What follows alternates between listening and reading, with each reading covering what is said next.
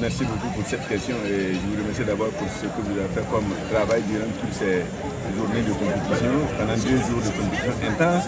Je peux dire d'office déjà que je suis vraiment satisfait au point de vue technique.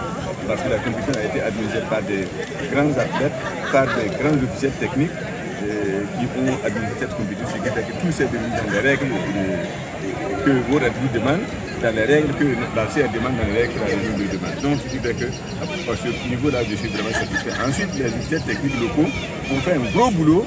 Ils ont fait un travail sans faille, ce qui fait que nous n'avons reçu aucune plainte. Donc, ce qui fait que je, suis vraiment satisfait.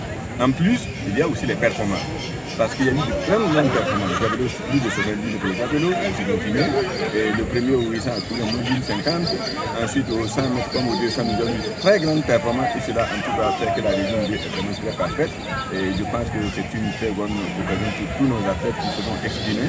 Et grandement félicitations au Togo, surtout qui a eu près de 4 médailles d'or. Ça n'arrive pas souvent au Togo.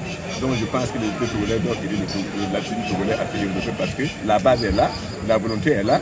Il n'y a seulement qu'une question d'organisation et puis ça marche pratiquement. Je suis très satisfait au point de vue technique. Ce championnat représente quoi pour la région? Oui, très très important pour la région. D'abord, c'est une compétition statutaire parce que chaque année, il faut que nous fassions nos, compétitions régionales. Et ensuite, cette compétition permet également aux pays membres de la conférence, aux pays membres de la... C'est ça, les jeux, les, jeux, francophones.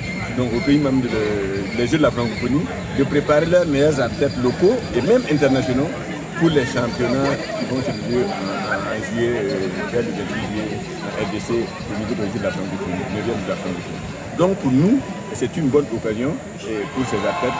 Et nous également, comme je dis, c'est une compétition statutaire. Nous l'avons organisée cette année en senior avec les meilleurs cadets et les meilleurs U20. Donc je pense que nous avons fait en tout cas ce qu'il faut dans la région pour le Merci.